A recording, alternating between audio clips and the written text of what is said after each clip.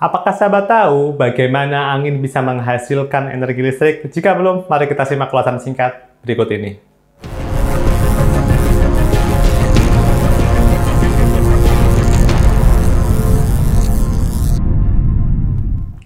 Selamat datang di Rahman.net dengan saya Alif yang seperti biasa akan mengulas tentang dunia kelistrikan dan energi tentunya buat kalian yang tertarik dan ingin update tentang ilmu kelistrikan dan teknologinya. So, kalau kalian ada yang baru nemuin channel ini, tidak perlu ragu, silahkan subscribe dan aktifkan tombol notifikasinya.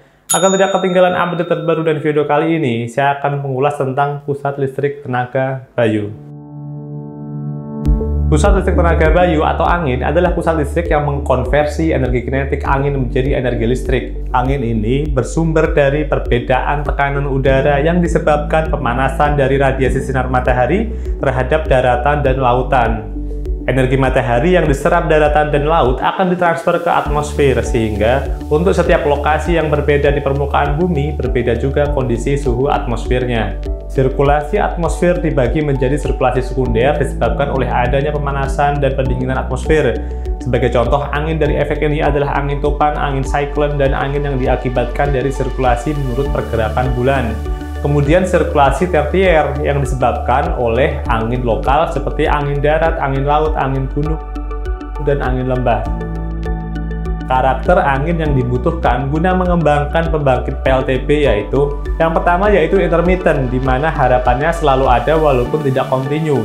Di sini kita perlu melakukan perencanaan studi ketersediaan energi angin. Yang kedua, kecepatan angin. Kecepatan angin di suatu daerah bervariasi. Biasanya angin memiliki kecepatan lebih tinggi pada daerah yang bebas hambatan seperti daratan tinggi atau pantai.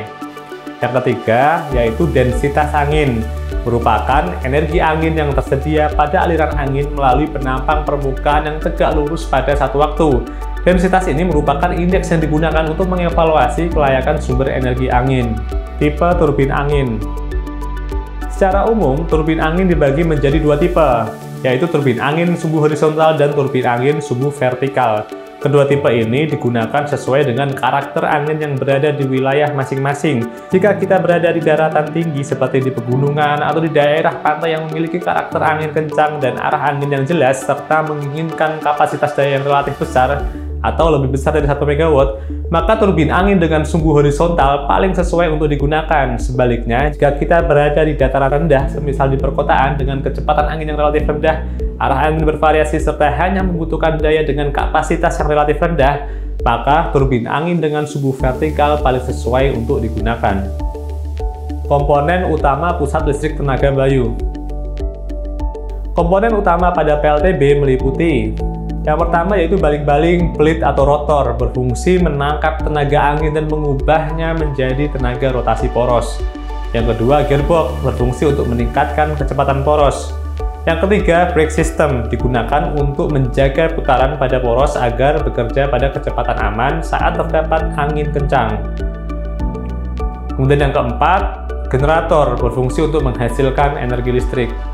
Yang kelima, baterai digunakan untuk menyimpan energi listrik yang dihasilkan sehingga ketika kecepatan angin menurun, energi listrik tetap dapat disuplai dengan menggunakan baterai.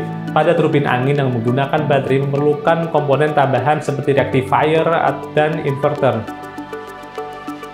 Kemudian yang keenam, yaw control berfungsi untuk menyesuaikan posisi turbin terhadap perubahan arah angin. Yaw control ini hanya terdapat pada turbin angin dengan kapasitas yang besar. Untuk kapasitas dengan daya yang rendah menggunakan tail fan. Prinsip kerja pusat listrik tenaga bayu Prinsip kerja PLTB yaitu dengan mengkonversi energi kinetik angin menjadi energi listrik. Proses konversi energi kinetik angin ini didapat dari perputaran baling-baling atau blade oleh dorongan angin. Putaran yang lambat pada blade dikonversi menggunakan gearbox dengan rasio yang disesuaikan agar generator berputar dengan kecepatan nominalnya sehingga dapat menghasilkan energi listrik.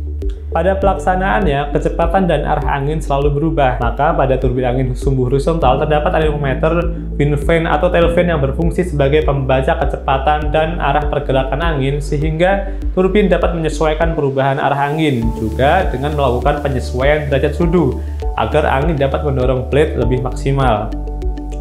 Daya listrik yang dibangkitkan dapat dihitung menggunakan pendekatan P atau daya listrik yang dihasilkan dalam watt bergantung pada densitas udara dikali luas permukaan area efektif turbin dan kecepatan angin dibagi dua.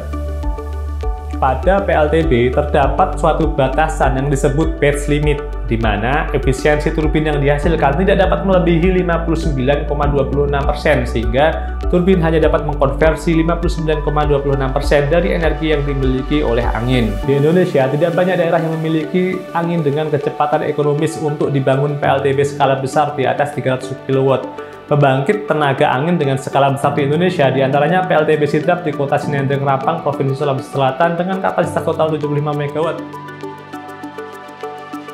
PLTB Tolo di kota Jeneponto, Provinsi Sulawesi Selatan dengan total kapasitas 75 MW dan LTB Nusa Penida di Kota Klungkung, Provinsi Bali dengan total kapasitas 720 kW. Oke, mungkin ini yang dapat saya share ke sahabat sekalian. Jika ada pertanyaan ataupun koreksi, silahkan tinggalkan pesan pada kolom komentar. Terima kasih sudah menonton, sampai bertemu di artikel berikutnya.